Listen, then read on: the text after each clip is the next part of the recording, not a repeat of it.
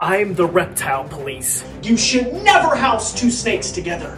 Thank you, reptile police, for your concern. Let me explain. Shere Khan and Buddy have lived together for nearly 20 years. We built a custom habitat for our Burmese pythons. The snakes have two basking spots. Hey, Buddy.